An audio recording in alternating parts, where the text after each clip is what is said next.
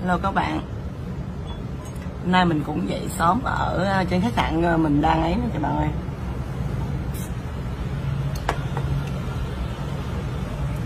Hôm nay mình về ờ, đây là được cũng được là bốn năm ngày đó các bạn.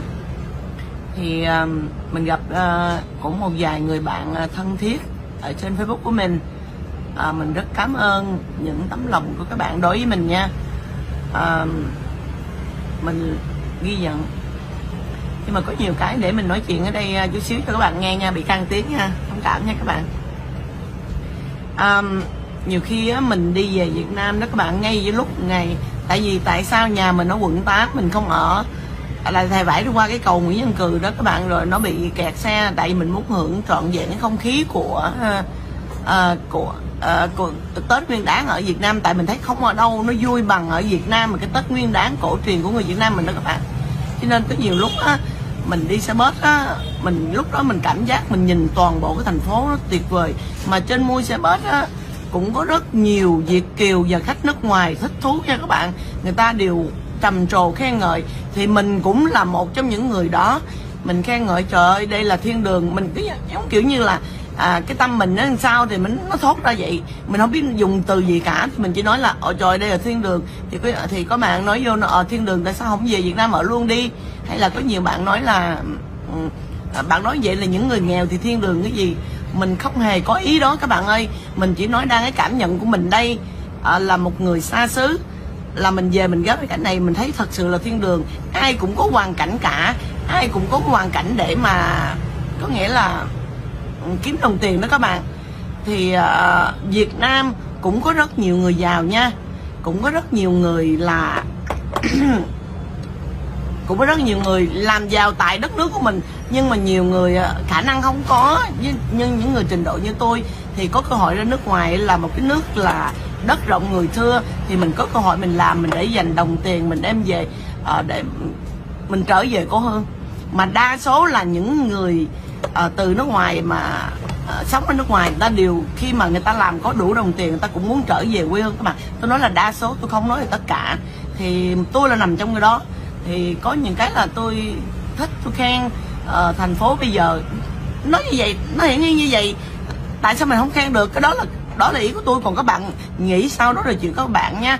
À, ở nước ngoài hay nước trong gì đó các bạn nghĩ sao rồi? Còn đây là mình đang nói cảm nhận của mình một cái đất nước à, của ông bà cha mẹ mình ở đây thì mình về mình rất là coi như là mình ờ, hưởng thụ dễ sợ luôn. Giống như là mình cảm thấy nó phơi phới trong lòng. Thì mình nói những gì cái cảm nhận của mình đó các bạn. À, thì các bạn có thông cảm dùng những lời nói mình đã nói là mình nói hay nói lung tung lộn xộn các bạn mình có sao mình nói vậy á. Thì các bạn nhiều khi các bạn có trình độ các bạn bắt lỗi bắt phải từng chữ thì mình thật, thật sự là chịu thua. Mình thật sự là chịu thua. À, thì à, một mỗi người cảm nhận nha các bạn. Hôm nay là mình ngồi ở đây ở ở cửa của khách sạn mình.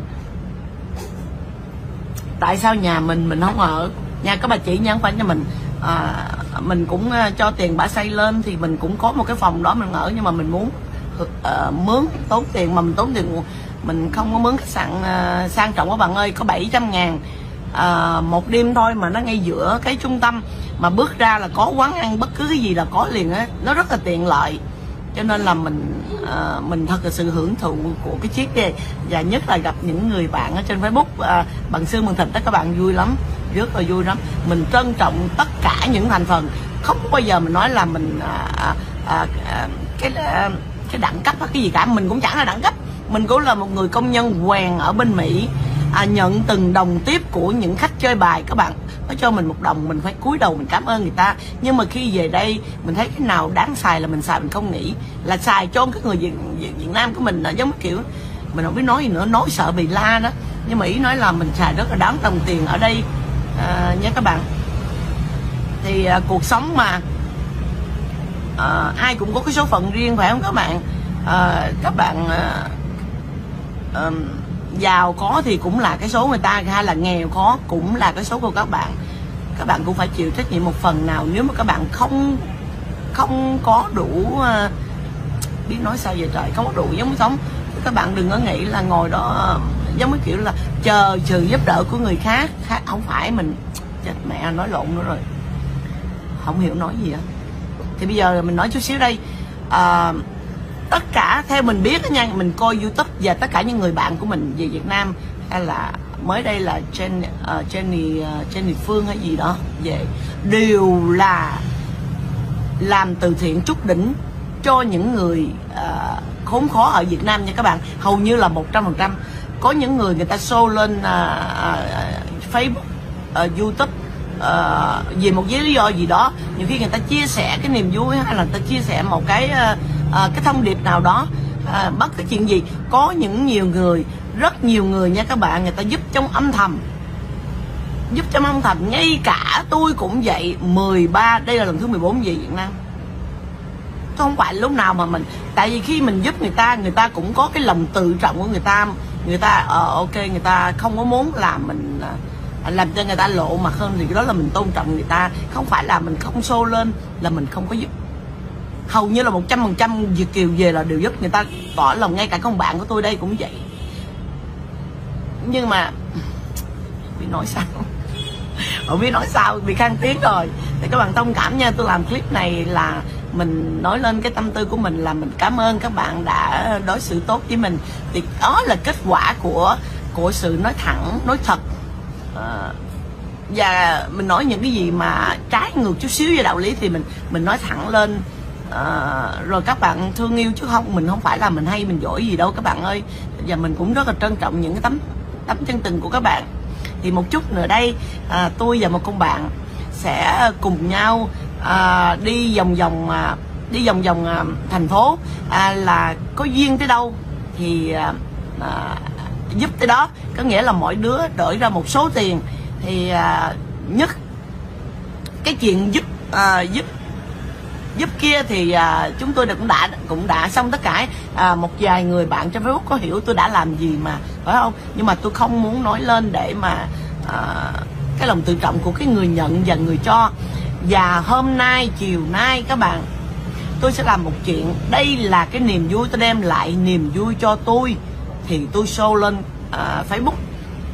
Là có nghĩa là ngày xưa tôi là người uh, buôn bán trái cây ở chợ Rạch Ông à, rất là uh, muốn bán được hàng và khốn khó.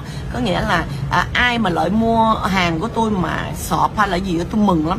Thì hôm nay tôi muốn đem cái cảm giác đó tôi tặng cho những người hàng rong. Có nghĩa là tôi và con bạn sẽ đi à, đi à, có duyên gặp ai là hàng rong mình sẽ mua uh, mua người ta một mớ hàng rong với một số tiền là vài chục triệu nha các bạn. Uh, để để những người hàng rong này có một cái tết vui vẻ chút xíu. À, mình mình không thể dang rộng cái vòng tay mà bao cả một bầu trời được. Mình sẽ duyên gặp những người mà à, bán hàng rong đó các bạn chứ mình không thể làm những chuyện lớn.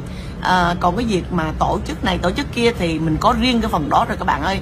Còn đây là mình đi để mà mình à, mình trao một cái duyên một cái niềm vui cho cho cái người bán hàng rong mà nhất là những người tỉnh ngoài nha các bạn. Không phải nói là mình không thương những người ngay thành phố à, mà bán hàng rong thành phố nhưng mà mình mình rất cảm kích những người ở miền trung miền à, đồ hay là miền tây gì lên đây kiếm sống à, không phải không dùng từ kiếm sống nữa mà lên đây để mà mưu sinh đó các bạn. Thì tại vì người ta là tha phương cầu thực giống như tôi đây đã đã qua bên mỹ nó cũng gọi là tha phương cầu thực. Chứ không phải là qua mỹ mà hưởng cuộc sống giàu sang đâu các bạn ơi. Cũng làm dữ lắm. Ở Mỹ làm cũng làm mới có ăn chứ không phải Mỹ mà xè tay nhưng mà cái đồng tiền so về Việt Nam mà sống cuộc sống cuộc đời mà bình dân á thì nó rất là là là cách xa. Tôi không nói sống gì xa qua nha. Xa qua tôi sống không nổi.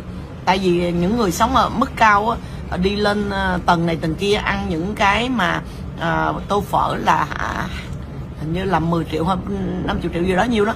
Mình không ăn nha các bạn mình ăn lề đường không? Các bạn thấy đó mình ăn lề đường không à thì hôm nay mình sẽ đi dài dài dài. Mình gặp những người bán hàng rong.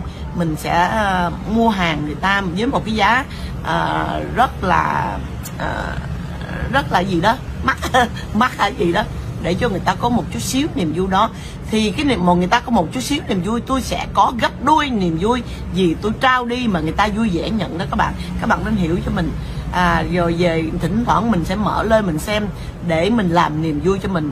Thì mình show lên à, mạng xã hội để chia vui cùng các bạn. Và tôi về nếu mà trở về Mỹ những lúc mà rảnh rỗi tôi sẽ coi lại. Và à, tôi sẽ giống như là à, làm cái niềm vui cho mình. Có nghĩa là mình tặng cái gì cho người ta người ta nhận một cách hoan hỷ ha hoan hỷ à, hoan hỷ. Thì cái đó là niềm vui cho tôi cho nên đó tôi mới show lên mạng xã hội à, mình nói mà hiểu à, các bạn mong các bạn hiểu nhiều cho mình nha. À, hôm nay mình bị bị gan cổ chân à cười giỡn rồi gặp bạn bè đó cho nên cái hơi không có.